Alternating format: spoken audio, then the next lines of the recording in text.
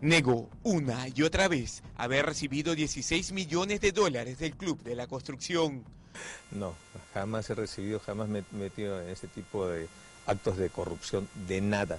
Entré a la presidencia para servir a mi país. Están diciendo que han metido 18 millones o 16 millones de dólares a Palacio eh, en varias oportunidades, burlando los servicios de control, el arco magnético, eh, y nunca los han agarrado.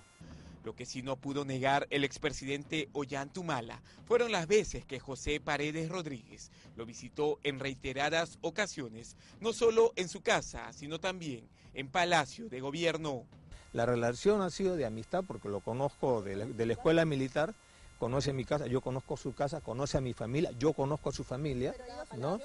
Ha ido a Palacio, ha ido a Palacio, ha ido a mi casa, pero ese es un crimen Gracias a un informe de Panorama se pudo conocer las declaraciones que brindó a la Fiscalía el colaborador eficaz número 04-2019.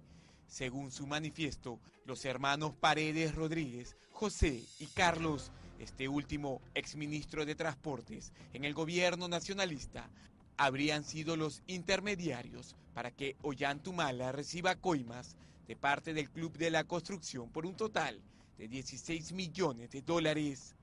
El expresidente dice que está dispuesto a colaborar con el Ministerio Público para esclarecer este hecho. Es una denuncia sumamente grave y el día de hoy eh, envié a mis abogados a personarse a la Fiscalía, tanto Nadine como yo, para ponernos a derecho, porque con ese tipo de noticias mejor queremos ir y participar. Cuando se le pregunta a Ollantumala sobre cómo llegó Carlos Paredes al Ministerio de Transportes, responde lo siguiente. al hermano de José Paredes, lo conozco a través de José Paredes en la época de jóvenes, ¿no? Y eh, lo, invitamos a incorporarse al, primer gabinete eh, porque eh, considerábamos que era un hombre profesional de éxito. Ollantumala termina de responder sus preguntas y decide marcharse en su camioneta. Antes de retirarse, expresa que viene dándole cara a las investigaciones del Ministerio Público.